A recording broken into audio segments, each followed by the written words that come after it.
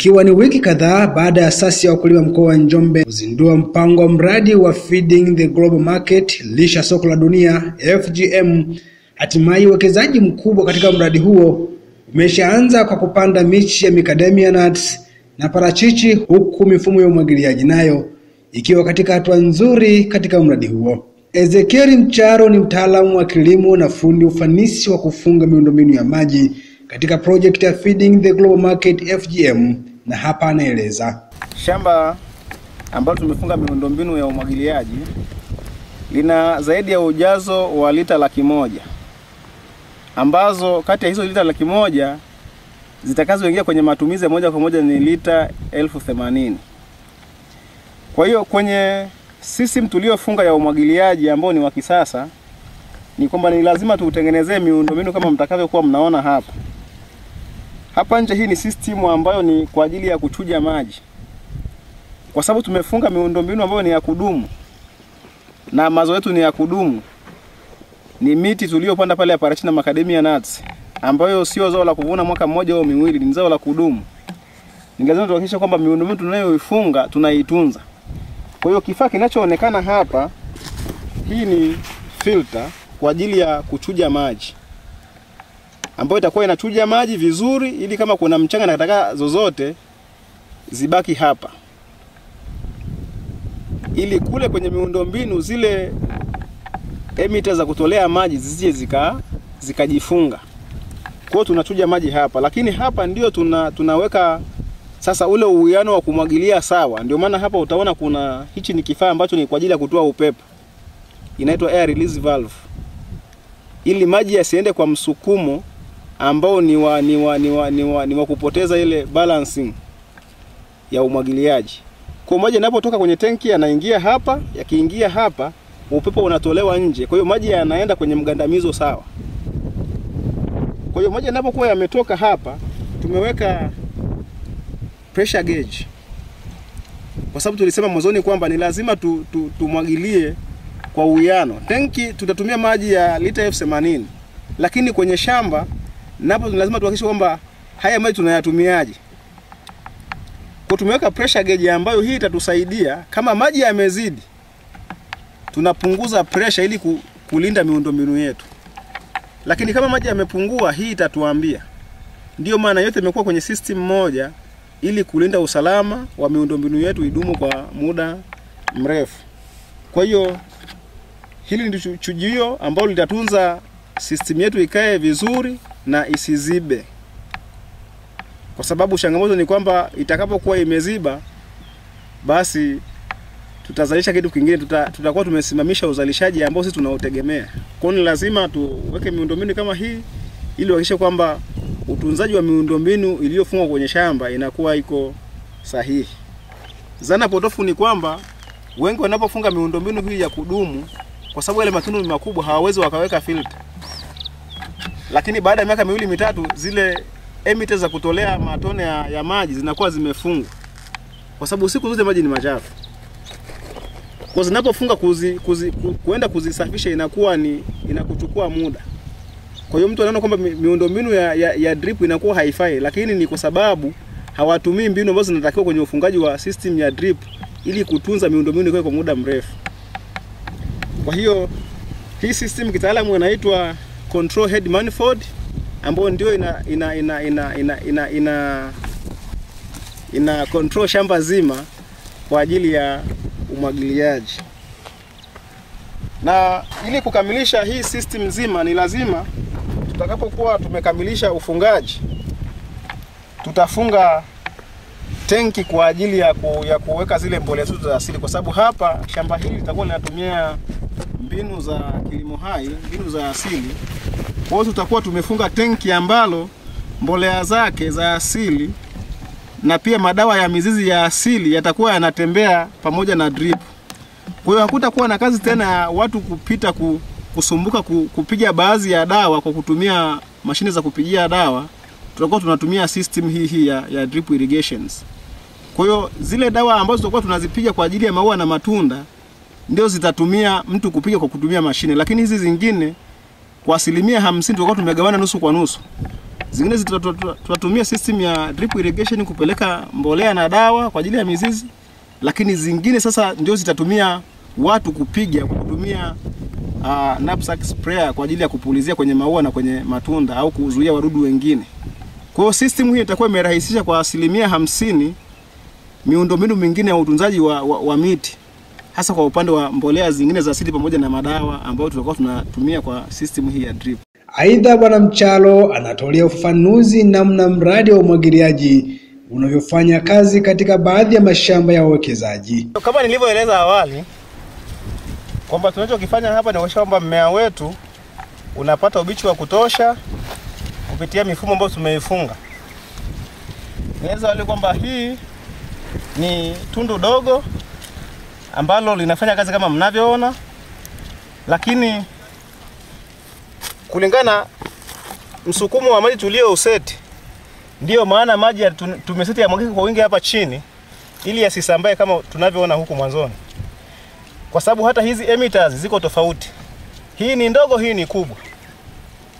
Kwa tulichokieleza, maji haya yanavyoingia hapa ni ubichi unaenda chini moja kwa moja kwenye mti wetu, ambao mwisho wa siku huu ulioko hapa ndio sababisha huu mti mizizi itembee. Lakini mwisho wa siku, kama nilivyoeleza, ubichi huu utafika hapa, utakutana na huu hapa, ambao sasa huku mwisho tumefunga hizi kubwa kwa ajili ya kupeleka maji mbali. Kwa sababu tumeongeza ile pressure ya maji, hizi zitapeleka zaidi ya futi mbili. Kwa hiyo tayari mizizi itakuwa imekutana. Kwa mwisho wa siku duara zima hili zaidi ya mita mbili square kuzunguka mche wako zitakuwa zina ubichi. Kwa hiyo kama inavyofanya kazi hivi ndivyo itakuwa ina, inafanya siku zote. Tukiongeza pressure ya maji, maji yatakuwa yanakimbia. Kwa hiyo muonekano wa mche huu ndio utakao kuwa muonekano wa miche yote ambayo tuta, inaendelea kupandikizwa kwenye shamba hili. Kwa hiyo hivyo hivi ndivyo itakavyokuwa inafanya kazi, na tukiamua tupunguze, kama tutaki maji yaruke hivi, tunakuwa tunazifunga, tunapunguza ili maji yasiende mbali, tunazipunguza kidogo ili maji yawe karibu.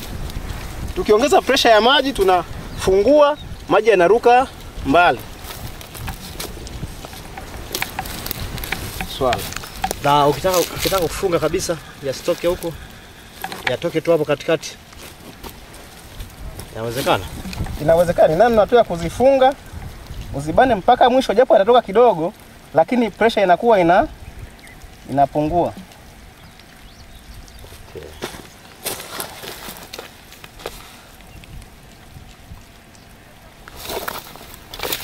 Kama unavyoona hapo, hilo limefungwa, alitoi maji. Kwa hiyo kama utaki itoe maji, unafunga hivyo, inakuwa ndogo kidogo kidogo sana. E, e, kufunga zote tuone.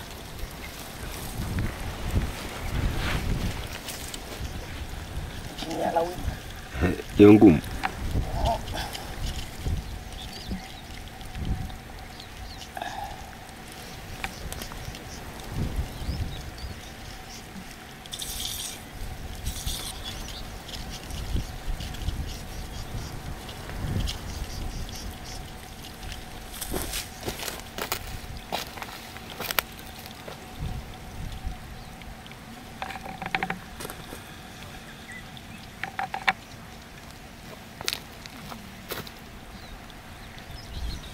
Maji hayatoki kwa sababu huenda huku hatuna shida nayo.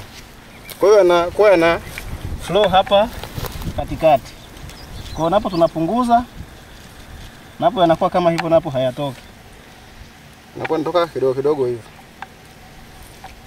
Na kwa kifupi, hata tono unaloliona hapa, ndani ya dakika tano ubichi umekuwa una, una, umeingia zaidi ya nchi sita hadi kumi kwa sababu ubichi wake unaenda mbali kwa muda mfupi.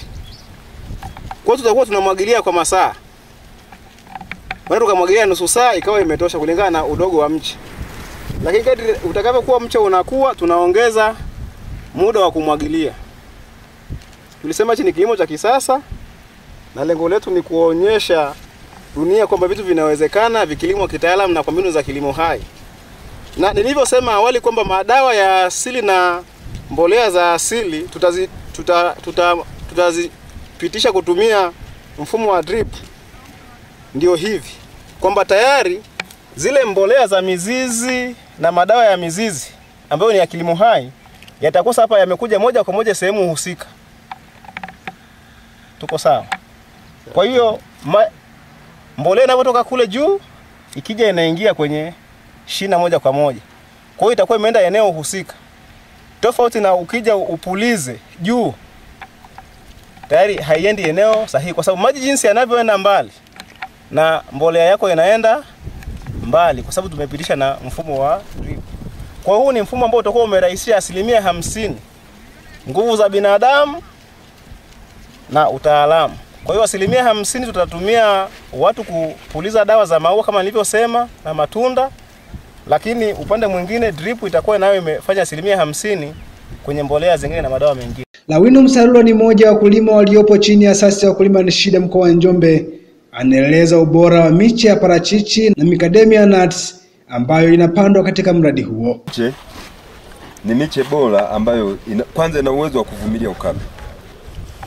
Kwa hivi hapa ilipo, itakapokuwa inapata maji kwa uwiano sawa, ina uwezo wa kuanza kuzalisha matunda ndani ya miaka miwili, mwaka wa tatu na ukofu Kwa hivi ikifika shambani ina uwezo wa kuvumilia, na kutokana na teknolojia hii tunayoifanya ya umwagiliaji kwa drip inakwenda vizuri kabisa, kwa sababu ime, imeoteshwa kwa utaalamu zaidi. Mpaka hapa ulipofikia kwa ukubwa huu kwenye kiriba hiki, una miaka mingapi? Huu mche una miezi sasa kumi mpaka hivi ulivyo, kutoka kuoteshwa mpaka kugraftiwa mpaka saizi una miezi kumi, na kwa sababu unapata maji kwa uwiano, ndio maana yote unakuta iko sambo moja. Labda kitaalamu, unaweza kutueleza huu mche nikiupanda, umeniambia baada ya miaka miwili unaanza kuuvuna. Labda wewe ni mkulima mzoefu na pia mtaalamu wa kilimo, unaweza ukatoa kilo ngapi huu mche wa parachichi ambao unaona hapa baada ya miaka miwili? Baada ya miaka miwili huu mche una uwezo wa kutoa kilo ishirini na tano kwa sababu ni mavuno ya kwanza, lakini baada ya mavuno ya pili huu mti unatoa kilo hamsini.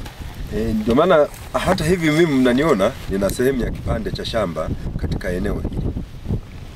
Kwa hivi ninajivuna kwa sababu nina miche bora na nina uhakika nayo kwamba hii miche itanizalisha kile ninachotakiwa kukipata. Frank Msigo ni mkurugenzi wa sasa ya kulima mkoa wa Njombe, anawatoa wasiwasi wa wawekezaji juu ya usalama katika mradi huo mkubwa ambao tayari umeshaanza kuchukua nafasi katika eneo hilo. E, kama tumekuwa tukieleza toka mwanzo kwamba tuna program inaitwa FGM Feeding the Global Market Organic Food. Ndio sasa hii program tumeanzisha hapa. Sisi wenyewe tuna mashamba yetu sehemu mbalimbali, lakini sasa tumewa, tumeamua tuanzishe shamba la pamoja ambalo litakuwa ni shamba la mfano kwa Tanzania na litakuwa ni shamba la kuja watu kuja kujifunza na kupata weledi zaidi juu ya juu ya kilimo. Eneo hili ni, ni eneo la uwekezaji sana sana wawekezaji wa ndani. Tume, tumeanzisha uwekezaji wa ndani na tayari kuna watu tayari wameshachukua mashamba eneo hili, tunawasaidia kusimamia. Watu wameshachukua mashamba na mashamba yetu hapa, kwa hiyo tunaendelea kusaidia kusimamia kuitunza hili shamba kuanzia mwanzo mpaka mpaka tutakapokuja kuuza. Mpaka sasa hivi ili eneo ambalo tayari limeshachukuliwa ni kama eka arobaini lakini bado kuna kama eka arobaini zingine ambazo zipo. Kwa yeyote atakayehitaji, basi anawasiliana na shida, tunampa utaratibu wa kupata ile eneo na tutamsapoti kwenye swala la management kiujumla mpaka kuja kuuza mpaka na soko tutafuta sisi wenyewe. Na kwenye shamba tayari tumeshapanda miche ya makademia, tumeshapanda kama eka saba, lakini tunaenda wiki hii tunaenda kupanda miche ya parachichi. Eka zisizopungua kumi na mbili, lakini tumepanga mpaka kufika Disemba mwishoni. Tuwe tumeshapanda eneo lote. Lakini mbali na hayo mazao ya muda mrefu, tutakuwa na mazao ya muda mfupi ambayo tayari tumeshapata soko la kuzalisha mazao ya muda mfupi organic ya kilimo hai kwa ajili ya kulisha soko la dunia, soko la ndani, lakini asilimia kubwa ni soko la dunia. Na kwa nini tunasema soko la dunia? Kwa sababu sasa hivi watu wa nje ndio ndio wameshaelewa umuhimu wa wa vitu vya kilimo hai, vyakula vya kilimo hai, wameshaelewa umuhimu. Kwa hiyo tunapata sana masoko, tunawazalishia kwa wingi, lakini wakati huo tunaendelea kutoa elimu kwa Watanzania wenzetu waanze kubadilika kwenda kwenye kilimo hai na waanze kubadilika kupata milo inayotokana na kilimo hai. Kwa hiyo tunaendelea na shughuli hizi kama kawaida hapa, na hapo baadaye tuta, tutaanza kukaribisha watu kwa ajili ya kuja kujifunza kupata weledi mbalimbali, ili na wao waweze kwenda kuendeleza maeneo mengine. Mkurugenzi, eneo hili linahitaji wawekezaji wengi sana. Vipi ukubwa wa ardhi unaweza kwenda kuafodi kwa wawekezaji wote ambao watahitaji kuja kuwekeza hapa? ya eneo hili eh, bado lina nafasi kubwa sana ya uwekezaji. Kwa hiyo kwa yeyote atakaye hitaji Ila atakuwa kuja kuwekeza kwa kiwango kikubwa, basi tutafanya utaratibu wa kumtafutia eneo na kumwandalia. You are watching Digital News Tanzania.